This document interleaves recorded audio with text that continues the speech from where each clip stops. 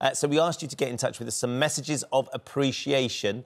Um, yeah, we've had lots, haven't we? um, can I just quickly do mine first of all? uh, There's yes, a reason why. Sorry, it's not about you for a moment. It's about her. Let's all remember that. Back to you. I was going to make it about someone else. no, go. Uh, Mick, my milkman, who has just been amazing. He's absolutely just kept me going because he'll leave little notes saying, "Do you need anything extra other than the milk?"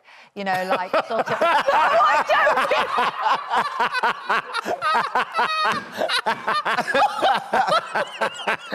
I. Mean, like bread, Oh, yeah. butter, Yeah. or orange juice Yeah, that he also yeah. supplies. The extra. Uh, he needs a little smiley face. I bet he does.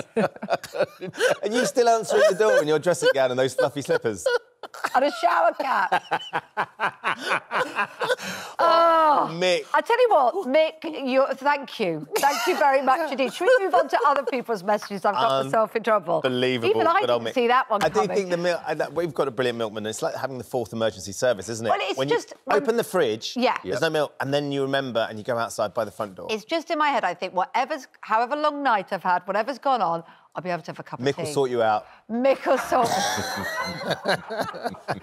uh, Tim Dean. Tim Dean says he wants to say, uh, wonderful postman Tim. Postman there again. Lots of people saying Fantastic. postman, yeah. Uh, gone out of his way to bring cheer to everybody in the street, helpful and plenty of laughter and banter.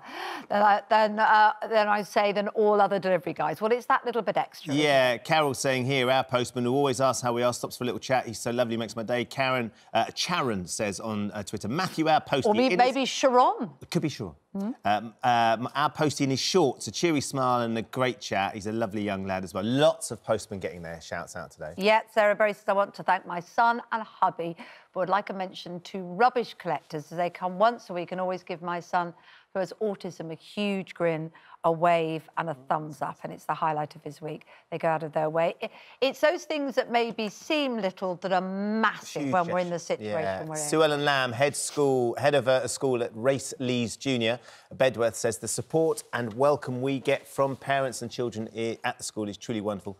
During such a difficult time, our community has pulled together and given the boost us teachers need. So thank you from the bottom of her heart. And David Wall wanted to give a shout out to his granddaughter. He says, uh, uh, My granddaughter has had seven brain surgeries since thing. July last year. Wow. And yesterday she had her final surgery for a number of years, and the whole family is overjoyed. Well, she sounds like an absolute hero. She so, really yeah. does. Richard, who have you got that you would like to share some love for? It would have to be my butcher because he goes that extra length as well. Um, he's uh, he's knocking me up at Beef Wellington. Morning, Phil. And everyone at James Elliot in Islington. He's knocking me up at Beef Wellington uh, for Sunday. And I organised this about two weeks ago. First clue you're in lockdown is when you start organising Valentine's Day a fortnight ahead of schedule. And I thought, well, I'm not going to make the Beef Wellington from scratch because that would be like cutting your hair for the first time on your wedding day. Um, so, Phil, thank you very much indeed. And all the team, actually, to be honest, all the gang in our local stores on the high street as well who've, who've kept open um, and serving the community. They've been brilliant. I don't know what I'd be without them. It's and majestic, of isn't it? course. Yeah, and Majestic Yeah. particularly. Uh, what about you, Alex? Uh, I have to say, my mum actually, um, she's been shielding all the way through the pandemic. Uh, and she's had operations postponed. She's been in a lot of pain, but she's so resilient and she's so positive.